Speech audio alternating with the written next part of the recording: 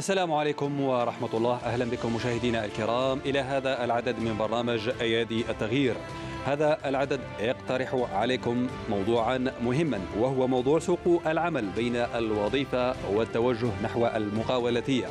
فالجامعة الجزائرية تكون آلاف الطلاب. يقدر عددهم آه، خريجي الجامعة الجزائرية سنويا بحوالي 300 ألف طالب.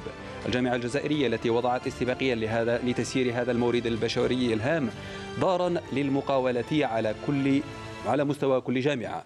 هذا الموضوع سنتطرق إليه مع ضيوفي في الاستوديو. بدءا من على يميني السيد لونيس موسوني صاحب مؤسسة أبي بي سبيس حاضنة للمؤسسات الناشئة. أهلا بك سيدي. أهلا وكذلك أرحب بالسيد وليد خليفة صاحب مؤسسة ناشئة. أهلا بك وليد.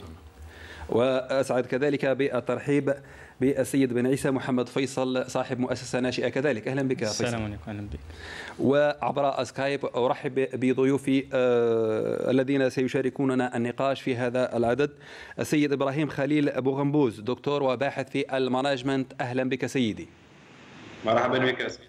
كما أرحب كذلك بالسيد قاسمي فتحي مدير مكتب استشارات في تطوير المؤسسات. أهلا بك أستاذ قاسمي مرحبا بكم شكرا لكم على الاستضافة؟ وشكر لكم على تلبية دعوة البرنامج. أفتتح النقاش معك آه، سيد لونيس أنت خريج المدرسة العليا للمصرفة وتوجهت نحو النشاط في آه، إطار الحاضنة المؤسسات. حدثنا عن تجربتك أستاذ لوسون. آه، مساء الخير عليكم. نشكركم على الدعوة. طبعا كنت خريج المدرسة العليا للمصرفة. عملت كإطار في بنك عمومي لمدة ست سنوات توجهت نحو علم المقاولاتية في عام 2013 دونك j'ai créé la, la première, euh, première entreprise dans la formation professionnelle. Euh, مع ثاني مؤسسة هي مؤسسة في في التأمينات والعام عام 2021 تحصلت علامة وزارية كأول حاضنة في ولاية بجاية. نعم لونيس ربما السؤال الذي آه، يتبادر لأي آه، شخص يشاهدنا الآن. آه، معروف أنه العمل في القطاع المصرفي يستقطب الكثير من من من من الشباب الذين يرون في هذا القطاع. مثالي للتوظيف. كيف أنت قمت بعملية هذا التغيير من هذا القطاع الذي يستقطب الكثير من الكفاءات للتوظيف فيه إلى قطاع المؤسسة الناشئة؟ آه، شكرا. على سؤال صحيح. دونك المدرسة العليا للمصرفة مدرسة النخبة. آه، بعد تخرج آه، رحنا مباشرة نحو العمل في في في البنك. آه، هنا تعرفت على المؤسسات وعلى المؤسسة وعلى المقاولاتية وين حبيت آه، ندخل هذا العالم على المقاولاتية بعد العمل يعني تعرفت على جميع جميع الميادين آه، في في في في في مؤسسة لإنشاء مؤسسة وتطوير مؤسسة. ولما لا لا, لا أنشئ مؤسسة ومن هنا كانت الفكرة. آه، نعم نعم آه، وليد. أنت خريج جامعة جزائرية في تخصص الذكاء الاصطناعي. الآن آه، فكرتك تتوجه إلى المؤسسات الناشئة والنشاط في هذا المجال. بسم الله الرحمن الرحيم. صحيح أن الطالب الجزائري بعد التخرج يتوجه مباشرة نحو الحصول على وظيفة عمل وذلك لضمان أو بهدف ضمان الاستقرار المعيشي. لكن إحنا كانت عندنا نظرة خاصة وتوجه خاص. وهو التوجه نحو المقاولاتية أو تأسيس شركة آه، ناشئة. بحيث هذه الشركة الناشئة تحتوي على أو تضم ما يسمى بعلامة مشروع مبتكر. نعم. والحمد لله تحصلنا على علامة مشروع مبتكر في الذكاء الاصطناعي تحديدا ما يسمى بالكمبيوتر فيجن أو آه، رؤية الحاسوب. وطورنا آه، عدة مشاريع في هذا المجال. أما الدافع اللي خلانا نتوجه إلى المقاولاتيه هو أن الذكاء الاصطناعي في الجزائر هو حديث نعم. الاستعمال وبالتالي انه نتوظف في مجال غير مجال الذكاء الاصطناعي راح يحجب وراح يمنعنا من استغلال الإمكانيات التي اكتسبناها في الجامعة وبالتالي تطويرها ميدانيا. نعم وليد فيصل أنت كذلك خريج جامعة الجزائرية في الذكاء الاصطناعي تنشط في آه، مؤسسة ناشئة في في إطار متكامل مع زميلك نعم. وصديقك آه، آه، وليد. احكي لنا عن تجربتك في هذا المجال. يعني في تجربتي تبدأ تجربتي في مجال المقاولاتية يعني كأي طالب جامعي مقبل على التخرج. بديت نشوف يعني سوق العمل وش كاين معروض فيه في مجال الذكاء الاصطناعي. اكتشفت باللي يعني ما كاش عروض يعني مغرية ولا العروض تكون شبه منعدمة في مجال الذكاء الاصطناعي. أنا هنا بحكم أنني منفتح على فكرة المقاولاتيه قلت ربما يعني الواحد آه، من هذا يستنتج أنه ما كاش شركات تقدم خدمات في مجال الذكاء الاصطناعي. ولا آه، الواحد لازم يستغل هذا الغياب شركات في مجال الذكاء الاصطناعي باش يدخل السوق اللي ما نعم. فيهش منافسة وبالإضافة إلى ذلك أنا أعتقد في البداية أنه آه، غياب هذه الشركات في الناشطه في مجال الذكاء الاصطناعي راجع إلى غياب الحاجة له لذلك قررت أنني ندير آه، مذكرة التخرج تاعي في شركة وطنية تقنية في مجال الاتصالات نعم. وين تعرفت على مختلف مشاكل المؤسسات والشركات في الجزائر وعرفت باللي مجال الذكاء الاصطناعي آه، كاين الحاجة له في الجزائر وبالتالي قررت أني هذا كان دافع كبير لي أنني ندخل في مجال المقاولاتيه ويعني لقيت يعني العديد من الزملاء منهم وليد اللي كانوا يشاركوني نفس الهدف وكانت عندنا دوافع مختلفة. نعم استفدتوا من فكرة انه كل جامعة فيها دار مقاولاتية تعزز لكم فكرة التوجه نحو المقاولاتيه؟ نعم يعني خلال دراستنا الجامعيات كنا نسمعوا يعني كانوا يديروا لنا ملتقيات متعددة حول المقاولاتية وهذا الأمر خلينا خلى فكرة المقاولاتية ترسخ في الذهن تاعنا وعرفنا التوجه الجديد للجزائر في مجال المقاولاتية وباللي راح يكون دعم يعني العائق الكبير اللي يواجهه الطالب الجزائري أنه ما يخاف يدخل في مجال المقاولاتية. يقول لك أنا ما نعرفش آه، الإجراءات الإدارية الإجراءات القانونية ما أنا نعرف واش قريت في الجامعة. أنا نعرف ذكاء اصطناعي. نعم. لكن كي تسمع وتشوف في الجامعة والتوجيه اللي كاين تعرف باللي آه، كي تخرج راح تلقى التأطير المناسب في مجال الذكاء أنت تركز على العمل تاعك اللي هو الذكاء الاصطناعي وراح تتحصل على التأطير المناسب في آه، في في المجالات اللي ما عندكش فيها خبرة. نعم شكرا. فيصل أستاذ قاسمي فتحي وأنت مدير مكتب استشارات في تطوير المؤسسات. تتابع معنا أكيد هذا النقاش. فيه نموذجين لشباب جزائري توجه نحو المقاولاتية ونموذج لشاب جزائري ترك الوظيف وتوجه نحو المقاولاتية وانشاء مؤسسة حاضنة للمؤسسات. أنت قمت بدراسة حول المقاولاتية وسوق العمل في الجزائر. هل لك أن تضعنا في صورة خلاصة ما توصلت إليه عبر هذه الدراسة؟ نعم سيدي الكريم اولا شكرا لفتح هذا الموضوع موضوع مهم جدا اليوم اللي راح يساهم في التوجه الشاب من خريج الجامعات وخريج مراكز التكوين المهني. دائما يطرح السؤال هل سأستمر في الوظيفة أو أبحث عن وظيفة أو سأتوجه نحو المقاولاتيه اليوم الدولة الجزائرية كان عندها توجه كبير نحو المقاولاتية وذلك بإنشاء وزارتين منتدبتين لدى الوزير الأول الأولى مكلفة باقتصاد المعرفة والمؤسسات الناشئة والثانية مكلفة بالمؤسسات المصغرة. اليوم الحكومة الجزائرية تعمل على رفع وعلى خلق أسواق جديدة للعمل لأنه صراحة هناك تشبع كبير في آه، سوق العمل اليوم سواء من ناحية الوظيفة العمومي أو حتى المؤسسات الاقتصادية اللي عانت من عدة أزمات في آه، أزمة كورونا حيث كان هناك تسريح كبير لعدد من العمال الجزائريين.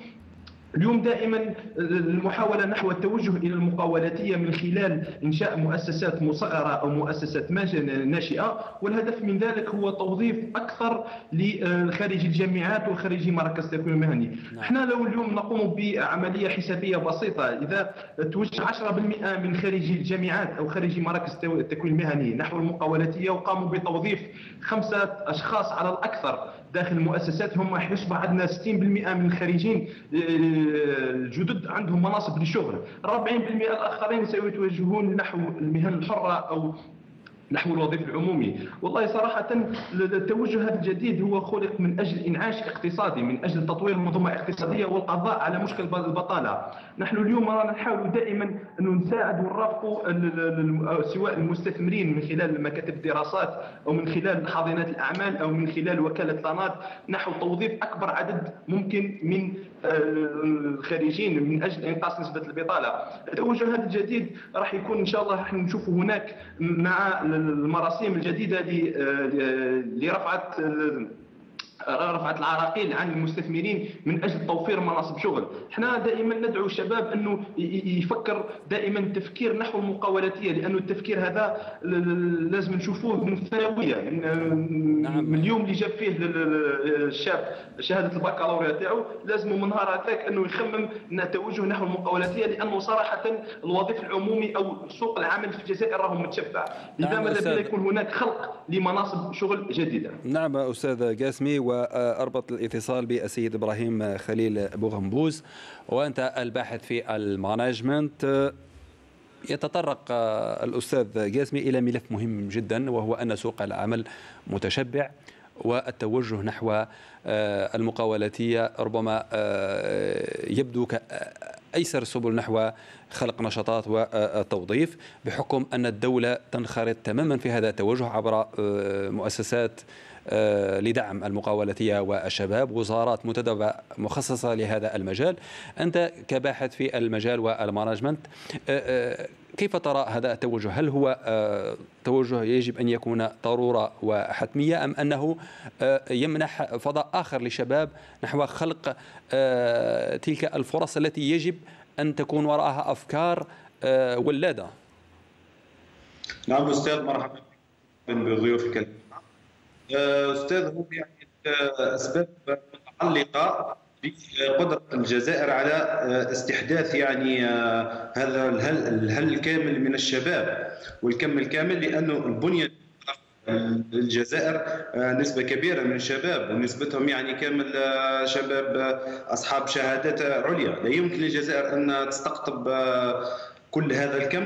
لهذا يعني في كما ذكرت أستاذ في بعض الإحصائيات تقول أن أكثر من 350 ألف طالب عمل. الطالب هذا ما لقاش شغل. منهم 6000 دكتور يتخرج كل عام. يعني حتى ولو أنه هذا الشاب يتمتع بكامل المهارات لا يمكن أن المهارات هذه تجمع مع سوق العمل. نعم. آه، في البحث يعني تراجع مستوى الاعتراف الاجتماعي لمخرجات الجامعات حيث أصبح لها نظرة كمجرد هيكل مادي فقط. هيكل مادي هيكل اجتماعي تجمع جدران اجتماعيه غير مخطط لها في تعليمها. آه، البحث العلمي الموجود في الجامعات لم يرقى له المستوى الذي يعطي مكانه أفضل في للجامعة الجزائرية حتى تمكنها من الخروج فعلا نحو سوق العمل. يعني كما شفنا صاحب مؤسسة ناشئة في الذكاء الاصطناعي فمجال تخصص مجال تخصصه الذكاء الاصطناعي لا يمكن للوظيفة أن تستقطب هذا الشاب. نعم. آه، كي نشوف سوق العمل سوق العمل في الوظيفة لا يوجد منصب لطالب ذكاء اصطناعي. لذا وجوب حتميه توجه هذا الطالب إلى فتح مؤسسة ناشئة من أجل الحفاظ على المكتسبات والمهارات اللي اكتسبها في المجال. ربما هذا ينخطر ينخرط في إطار نظرة جديدة لتوجيه الشباب وتكوين الجامعة إلى هذه النشاطات، نشاطات المقاولاتيه أستاذ. نعم أستاذ. وجب على الجامعة الربط بين الجامعة وسوق العمل. نعم. ال bachelier أول ما يتحصل آه، قبل حتى التحصل على البكالوريا يكون الهدف تاعو إنه قبل ما يتحصل على البكالوريا est-ce que la spécialité اللي راح يديرها في الجامعة عندها طلب في سوق العمل. نعم. قبل ما يتوجه نحو parce que هنا bachelier في الجزائر يتحصل على معدل البكالوريا ومن بعد المعدل هذاك هو اللي يحدد له مستقبله. نعم. ماهوش سوق العمل يحدد المستقبل تاع le bachelier قبل ما يدرس لأنه هذا طالب بعد خمس سنوات est-ce que كاينة possibilité الطالب هذا باه يكون عنده وظيفة؟ نعم أستاذ خليل ربما أعود بالنقاش إلى ضيوفي في الأستوديو. مع معك لونيس أنت صاحب حاضنة مؤسسات. حدثنا عن هذه الحاضنة أبي بي سبيس ما هي نشاطاتها؟ ما الذي تقدمه؟ هل في آفاق لتوسيع هذه الشركة؟ هل فيه أفكار لفتح فروع لهذه الشركة؟ تفتح أبواب لشغل عدد من الشباب؟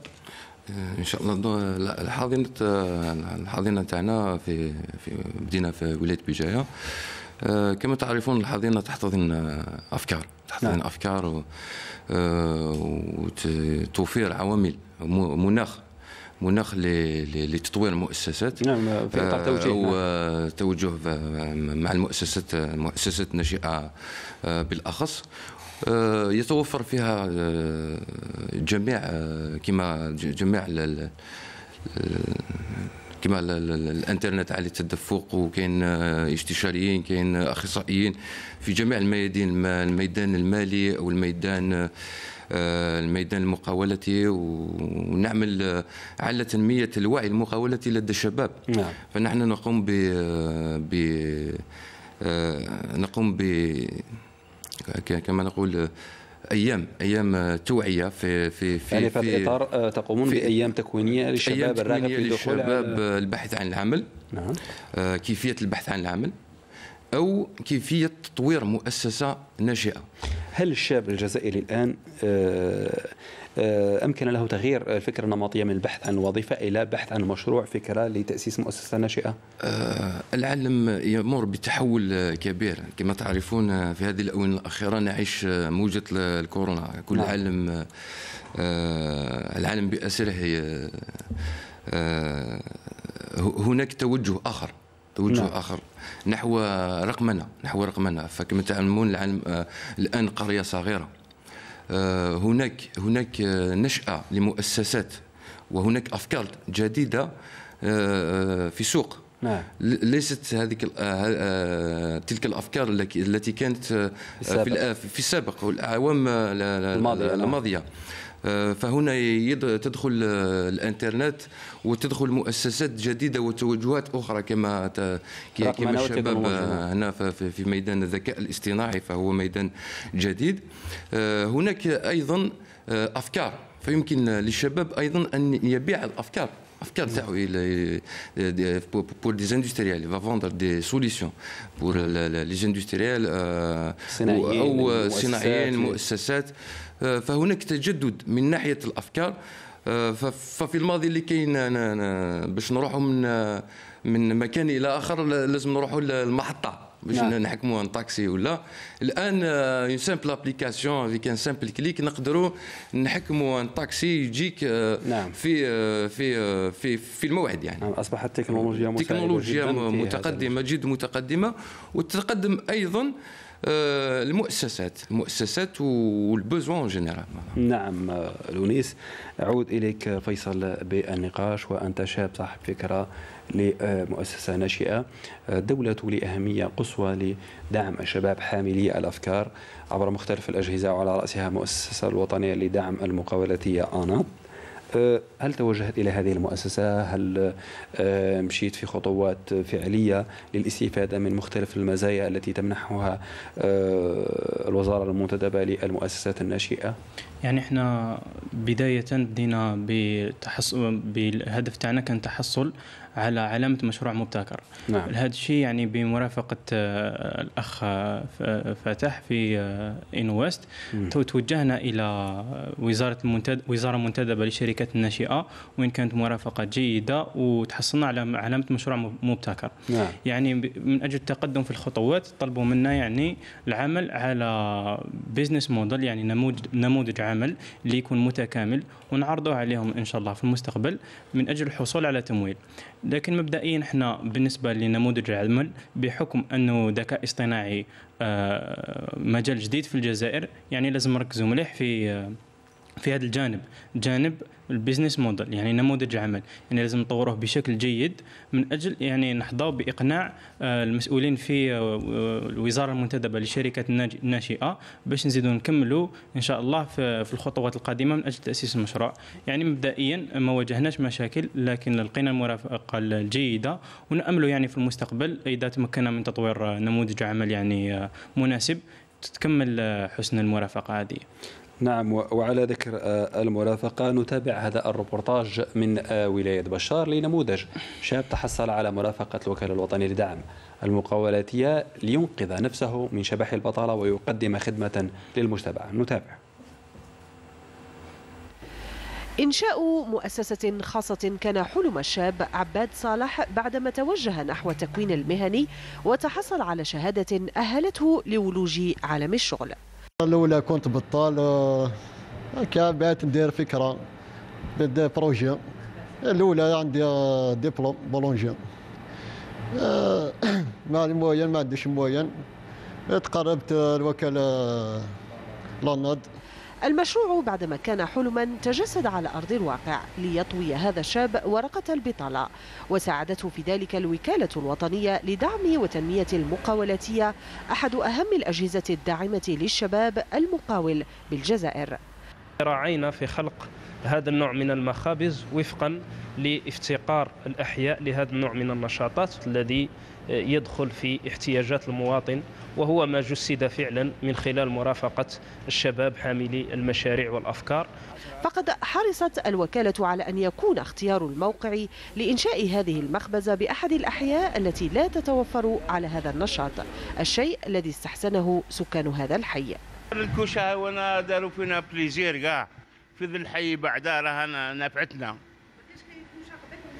كاينين بصح في الحي ثاني هنا راه مليحة. تسمى قريبه لينا قريبه للجوارين قريبه للحي قريبه ل... والو رحمة. والو الخيرات كاع. وهذه في الحق راها نافعانا حتى العشاء والخبز عنده. ويبيع الخبز تاع نتاع الفراك ونتاع 100 صالح مثال لشاب دخل عالم المقاولاتية بمشروع حيوي وكله عزيمة وإصرار للتصدي لشبح البطالة. والخروج من شبح البطالة هو فكرة وإرادة وخطة عمل. أه وليد تابعنا هذا النموذج كل لما يسير له. شاب خباز أنسى مؤسسة خاصة أصبح منتجا ومفيدا للمجتمع. أنتم كشباب جزائري متكون على أعلى مستوى في تخصص جديد عالميا الذكاء الاصطناعي أصبح يتصدر المشهد الاقتصادي والاجتماعي والسياسي في كل المجالات وحتى الأمني الذكاء الاصطناعي. هل لك أفكار في أن تؤسس تلك المؤسسة التي تقدم مختلف الخدمات في إطار تكاملي مع زميلك في في في المجال؟ أكيد. إحنا هدفنا من البداية كان كان واحد. الهدف أنه نقوم بتأسيس شركة أو مؤسسة ناشئة تقوم أو أو أو, أو تمنح عدة حلول في عدة مجالات منها المجال الزراعي مجال طبي وعدة مجالات أخرى. هذه الحلول في ميدان الذكاء أو في مجال الذكاء الاصطناعي قدمنا عدة خدمات اللي منها ce qu'on appelle la détection d'objets اللي هو هو فرع من فروع الذكاء الاصطناعي. قدمنا هذا المشروع ميدانيا. يقوم مثلا بالتعرف على الأشياء مثلا تعرف على ce qu'on appelle reconnaissance faciale نعم. تعرف على وجوه الأشخاص وتحديد الأشخاص في في, مدة زمنية قريبة جدا وهوية الأشخاص أيضا واستعملناه أيضا في إطار آخر وفي نفس نفس المحتوى يعني ce qu'on appelle l'immatriculation تاع السيارات ترقيم سيارات نعم. ترقيم السيارات يعني نقدروا نحددوا هوية الشخص اللي يقود السيارة عن طريق سواء استعمال طائرات درون أو حتى أي جهاز مراقبة أو كاميرا مراقبة وبالتالي نقدروا نوفروا عدة حلول سواء نعم. في مجال ce qu'on appelle computer vision رؤية الحاسوب. أو في مجالات أخرى أو فروع أخرى تنتمي إلى فرع الذكاء الاصطناعي.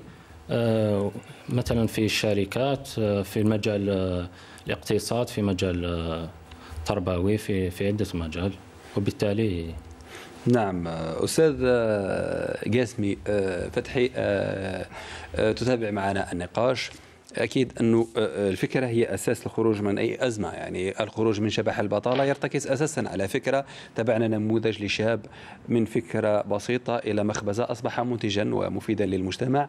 هنا الشباب المبدع والمبتكر خريج الجامعة الجزائرية ينقذ نفسه من شبح البطالة بالتوجه نحو المقاولاتية. هل ترى بأن التوجه نحو المقاولاتية قد يكون ذلك الملاذ المهم والمفيد لهؤلاء الشباب لتفادي شبح البطالة والانتظار المطول للوظيفة.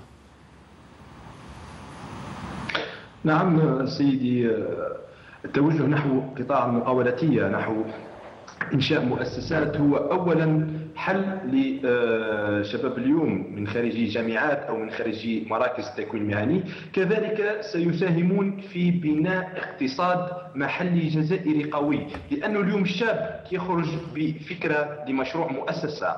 الحمد لله الدولة اليوم راهي مفرط لهم جميع آه، هيئات الدعم من حاضنات أعمال من من وكالات لنناض على مستوى جميع ولايات الوطن.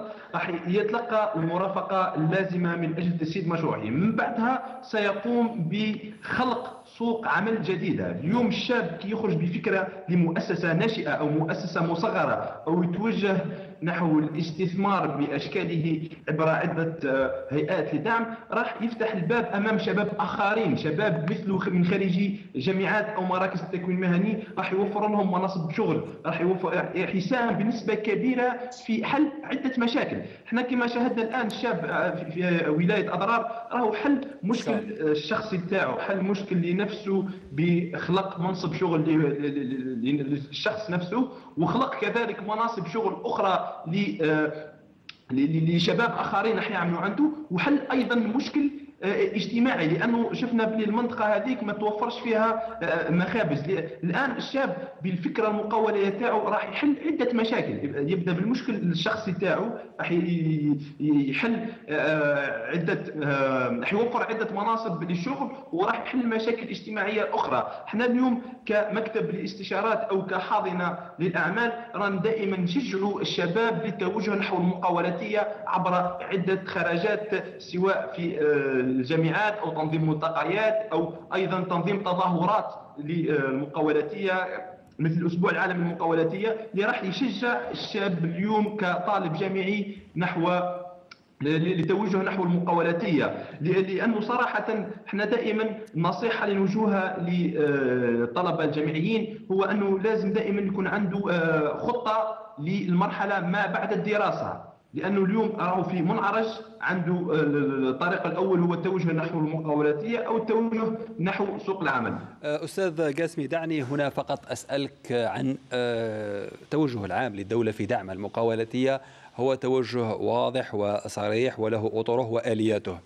هل بحكم أنك متتبع للملف هل حقق هذا التوجه بعض أهدافها إن صح التعبير على الأقل بالنظر إلى آه، عدد الشركات أو المؤسسات الناشئة التي تم تأسيسها وأشكال الدعم المختلفة التي تمنحها مختلف الهياكل القائمة على هذه المسألة. نعم هو إذا نتحدث حول آه، في في عالم الأرقام اليوم الإحصائيات اللي توفرها وزارة المؤسسات الناشئة حوالي 600 آه، أو 700 مؤسسة ناشئة متحصلة على الوسم. اليوم المؤسسات الناشئة الامتياز اللي راهي تصنع فيه هو أنها توفر مناصب شغل مباشرة ومناصب شغل غير مباشرة.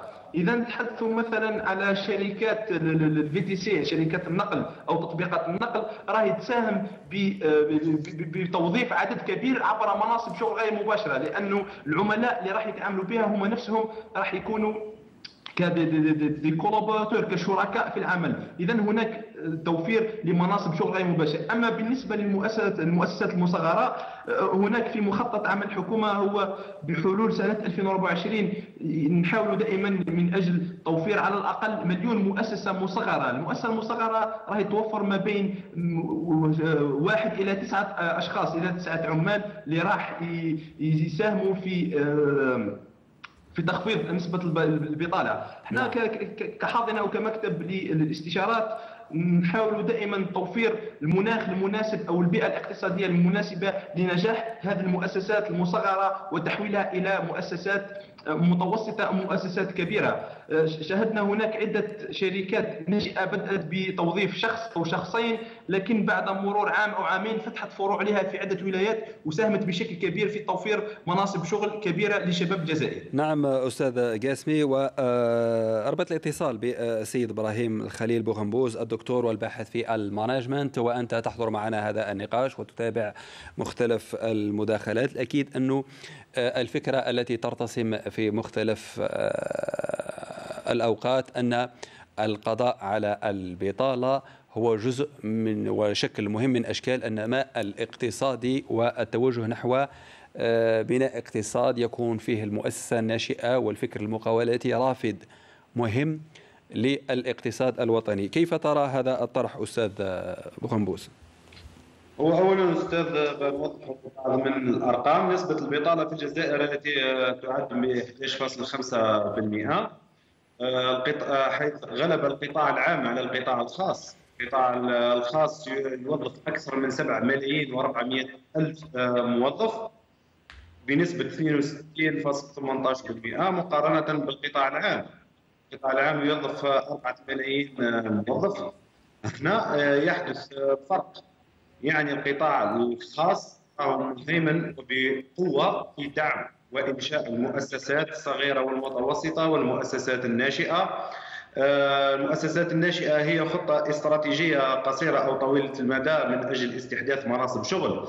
أما مقارنة بالمؤسسات الصغيرة والمتوسطة اللي فعليا راهي متواجدة في الميدان وفعليا راهي تقوم بتوظيف بتوظيف اليد العاملة المباشرة. نعم. ففي الجزائر توجد حوالي 11900 آه، مؤسسة تم استحداثها خلال سنة 2020 يتواجد في المؤسسات الصغيرة والمتوسطة ما يقارب 3 ملايين موظف. نعم. 3 ملايين موظف هذول لو كان ما جوش المؤسسات الصغيره والمتوسطة كان راح يكونوا عبء أكبر على الدولة. آه، بغض النظر على مؤسسة ناشئة آه، هي وكالة Emploitic ليزيد نعم. عنها آه، يزيد التوظيف في سنة 2021 أكثر من 29% من عروضها تم قبولها من طرف الموظف وصاحب العمل.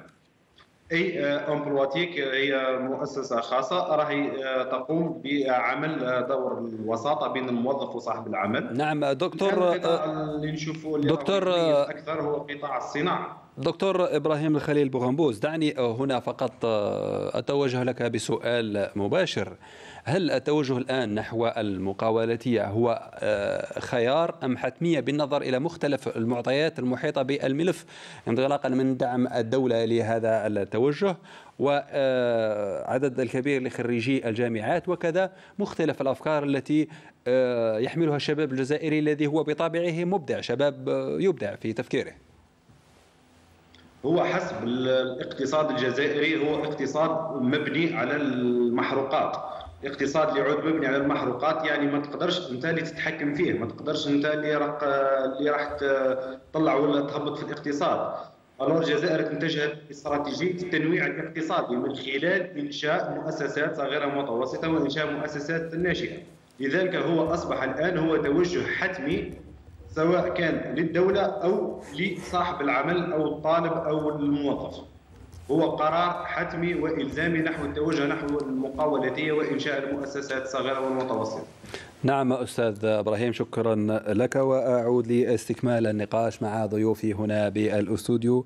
أستاذ لونيس التوجه الاقتصادي يفرض تنويع في مصادر التوظيف توظيف تنويع في المشهد الاقتصادي.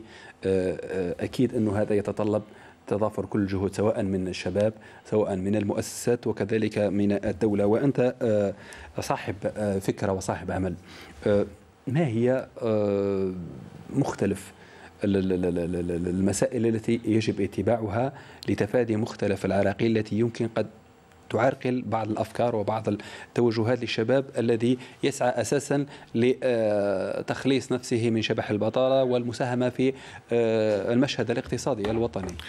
شكرا على السؤال العراقيل العراقيل التي توجد أو كما كما قلت لكي لتفادي العراقيل لإنشاء مؤسسة أو كما تعرفون آه، هو تكوين لازم يكون هناك تكوين تكوين نعم. مبدئي فجميع المتخرجين من الجامعات هناك تكوين نظري وهناك تكوين تطبيقي عكس نعم.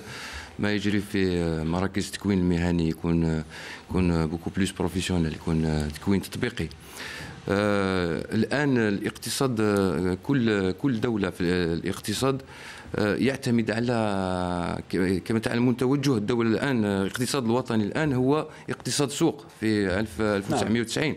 دونك الاقتصاد الوطني يرتكز على تحرير المبادرة على تحرير المبادرة نعم. شكرا يرتكز على تحرير المبادرة ويعتمد أيضا على القطاع الخاص نعم.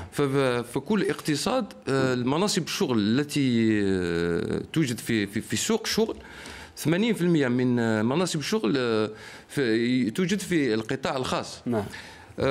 وهناك فئة أخرى تختار ميدان المقاولاتية نعم. سواء كانت اختيارية أو كانت حتمية فالنتيجة هي نتيجة واحدة لماذا؟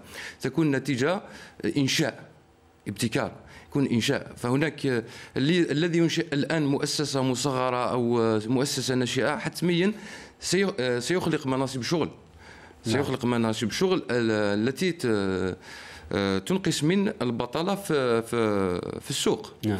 آه، فلازم على المقاولين نعم. التكوين. نعم. التكوين هو هي التكوين هو أساس نجاح العملية. أساس إنجاح عملية إنشاء أي مؤسسة. نعم. فهناك مبادرة هناك مبادرات وهناك اليات الدعم هناك اليات دعم. استحداث وزارتين في الاقتصاد الوزارة المنتدبة لدعم المقاولاتية أو الوزارة المنتدبة لمؤسسة الناشئه الوزارة المؤسسات الناشئه واقتصاد المعرفة. فهناك خيارين. نعم. إما إنشاء مؤسسة تدعم من طرف الوكالة الوطنية لدعم المقاولاتية أو إنشاء مؤسسة ناشئة عبر تحرر الأفكار والمبادرات والابتكار لدى الشباب الجزائري. في العالم الآن آه، هناك تحول. آه، كل كل عالم في تحول. هناك أفكار جديدة وتغيرات جديدة. هناك حتمية للتوجه نحو الابتكار ونحو إنشاء مؤسسات جديدة. نعم. بأفكار جديدة والذي يلبي حاجيات جديدة في في العالم المتغير. آه الآن. نعم العالم متغير. وليد آه استوقفتني منذ قليل في مداخلة الأستاذ قاسمي آه، فتحي جزئية. قال بأن على الطالب الجزائري أن يكون له خطة ما بعد التخرج. أنت كطالب جامعي أكيد أنه في خضم دراستك تتكون لديك الكثير من الأفكار. الأفكار النمطية للشاب الجزائري الجامعي هو أنه يتحصل على وظيفة أنه في كثير من الأحيان يفكر في الهجرة. آه، أنت خطتك لما بعد الدراسة كيف كانت؟ على أي أساس أسستها؟ الفكرة الرئيسية فيها إلى ما ارتكزت؟ حدثنا عنها الفكرة جاءت من المشاريع التي قمنا بها خلال مشوارنا الدراسي. قمنا بمشاريع في مجال الذكاء الاصطناعي وشفنا باللي هذه المشاريع يمكنها أن تضيف أو تقدم إضافات في عدة مجالات أخرى كمجال الزراعة مجال الصناعة مجال الطب إلى آخره. وبالتالي الفكر تاعنا تغير. راح إلى تأسيس أو توجه نحو المقاولاتية وتأسيس مؤسسة ناشئة. وهذا الفكر وهذه الحلول اللي رانا حابين نقدموها وعملنا فيها نماذج. لكن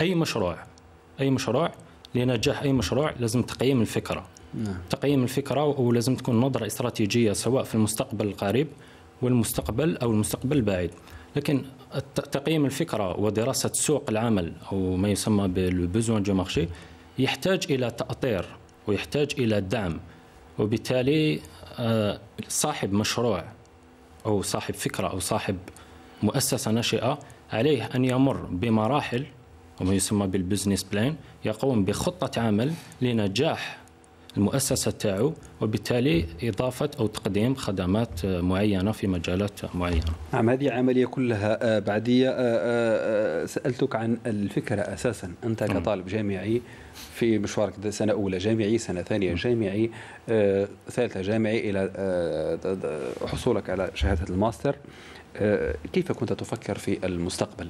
هل كان لديك خطة معينة لهذا التوجه تأسيس مؤسسة ناشئة أم أن كانت لديك بعض الأفكار تتعلق بالتوجه نحو التوظيف استكمال دراسات عليا؟ حدثني عن هذا الجو الذي عشته وأنت طالب جامعي. هو في الحقيقة الفكرة أولا كان التوجه نحو مناصب العمل. لكن إحنا في الذكاء الاصطناعي شفنا باللي هذا المجال هو جديد في الجزائر واستخدامه شبه مستحيل في في الشركات والمؤسسات الجزائرية لماذا شبه مستحيل؟ لأنه أكيد لأنه حديث آه، في الجزائر وأنه المجالات تاعو لأنه الفكر فكر المجتمع الجزائري لما يسمع ذكاء اصطناعي كانه كأنه يعتبروا باللي هو فكر أو علم خارق للعادة وبالتالي ما يعرفش المحتوى وما يعرفش وش معناتها؟ أو أين نوظف؟ وأين هي الحلول التي يمكن لأي طالب في الذكاء الاصطناعي أو أي شركة مؤسسة في الذكاء الاصطناعي ما يعرفش الحلول اللي ممكن تقدمها. إحنا الهدف تاعنا أنه نبسطوا آه، المعلومة هذه نبسطوا المشروع هذا والفكرة هذه إلى سواء تطبيقات أو سواء نموذج نقدمها للشركات وبالتالي نوظفوها ونتحص ونرفعوا من الاقتصاد. نعم آه، استكمل النقاش مع فيصل. فيصل يتحدث آه، وليد عن نقطة مهمة جدا الفكرة تجسيدها فكرة جديدة ربما تصطدم بالرفض آه، في بعض الأحيان. لكن عندما نبسط الأشياء الاكيد أن الصورة تنجلي وتتوضح أكثر. نعم.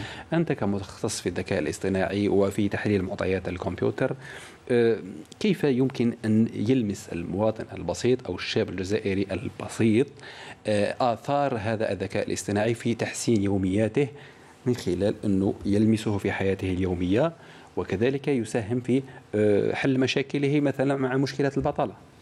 يعني اولا من أجل آه، استعمال الذكاء الاصطناعي بشكل واسع وأن يكون آه، عامة الناس يعني أي تاجر بسيط يقدر يستعمله لازم نمر بخطوة أولى هي إقناع الشركات الكبرى والشركات اللي عندها الحاجة كبيرة في في النمو. نقنعوهم يعني عندهم ناس قادرين على استيعاب وفهم آليات عمل الذكاء الاصطناعي وآليات آه، استعماله في في في في مجال في مجالهم آه، يعني مجال صناعة ولا زراعة ولا ايا كان المجال.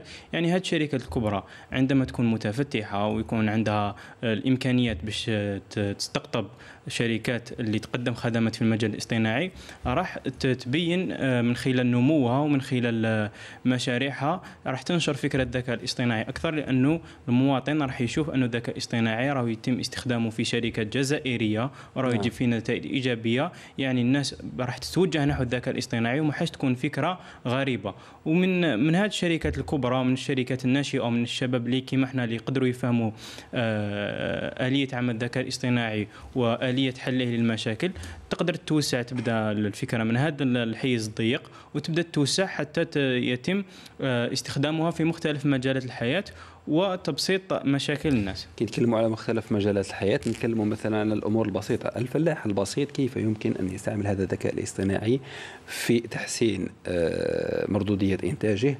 وكيف يمكن لهذا الذكاء الاصطناعي أن بحكم أنه علم متجدد أن يفتح مجالات أخرى للتوظيف آه، لأنه الصورة نمطية أنه كلما استعملنا تكنولوجيا زاد الاستغناء عن عن عن, عن اليد العاملة. هذه الفكرة. كيف يمكن تبسيطها وتوضيحها أكثر للشاب وللمشاهد؟ بغض النظر يعني عن أن الذكاء الاصطناعي يعوض الإنسان يعني الذكاء الاصطناعي أصلا كي تكون الحاجة لها راح يخلق مناصب شغل في الذكاء الاصطناعي بحد نعم. ذاته. وبالإضافة إلى ذلك في مختلف المجالات الزراعية ولا الصناعية ولا غير ذلك. الذكاء الاصطناعي يلعب كعامل نمو. لهذه الصناعات ولهذه المجالات الاقتصادية. يعني راح يساهم بطريقة بغير غير مباشرة في تكبير في توسيع مجال عمل المؤسسات وتطويرها مما يسمح لها باستيعاب كم أكبر من طلب المتخرجين في مختلف المجالات. نعم. وبالتالي يسهل عملية يسهل عملية النمو التي تؤدي إلى فتح مناصب شغل أكثر نعم استكمالا إلى ما تطرق إليه آه، لونيس آه، ولي آه، فيصل تحدث في نقطة مهمة جدا أنه بإمكان الذكاء الاصطناعي وأن يفتح مجالات للتوظيف نعم. أن يفتح مجالات نعم. للمقاولاتية عن طريق الانخراط الواسع وتبسيط هذه المفاهيم للمواطن أنه مفاهيم حديثة نسبيا في المجتمع كيف يمكن العمل على هذا الملف؟ آه، نحن نفكر آه، أنه إذا كانت تدخل التكنولوجيا في أي مؤسسة ننقص من يد العاملة. وهذا شيء آه، أظن فيه بعض الخطأ. فهناك بالعكس بالعكس سيولد الحاجة. نعم.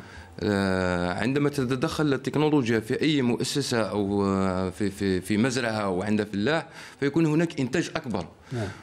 وبما أن هناك إنتاج أكبر هناك ما يسمى بمناصب العمل الغير المباشرة. نعم. في الحركيه الاقتصادية. نخلق مناصب عمل جديدة ما يخص logistique أو la livraison أو التخزين إلى آخره من المجالات. فيولد مناصب شغل غير مباشرة.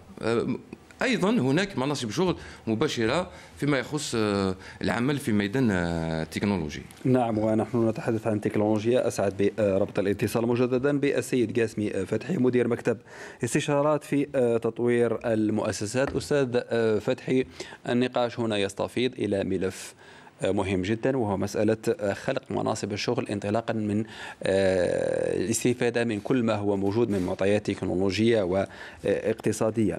آه، ونحن في برنامج أيادي تغيير. الفكرة الرئيسية هو دائما آه، تسويق النموذج الأمثل للحصول على أفضل النتائج.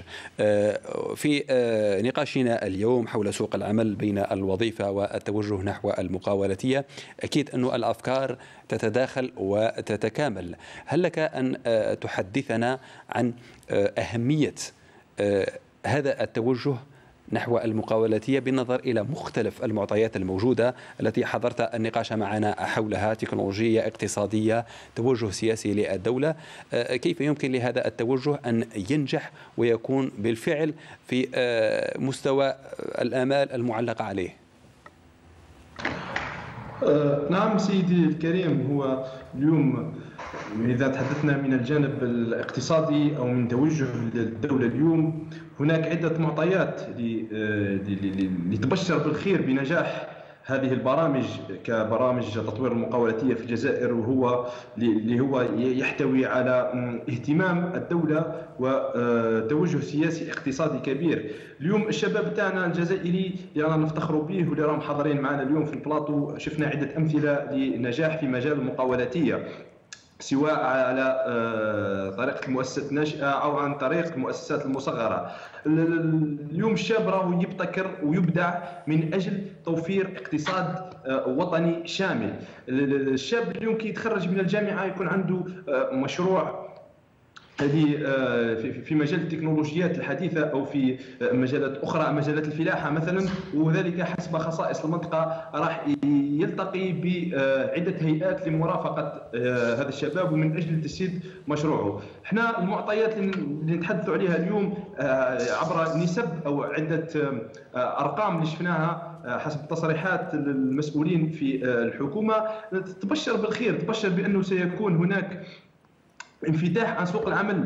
إحنا في الآونة الأخيرة شهدنا رفع العراقيل على الاستثمار على إنشاء المؤسسات نعم.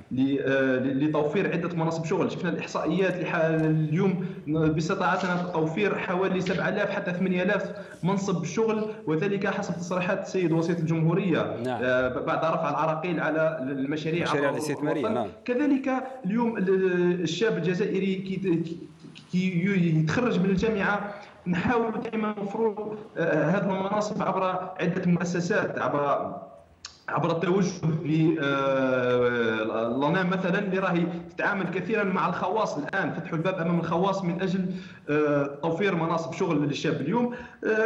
والله صراحة هناك هناك عدة معطيات اللي راهي لتحسين المناخ الاقتصادي الجزائري. آه، إحنا بدورنا كحاضنة أو كمكاتب الاستشارات عبر ربوع الوطن نحاول دائما نوجه نعم المستثمرين نحو الاستثمارات لتوفر مناصب شغل أكثر. لأنه نعم.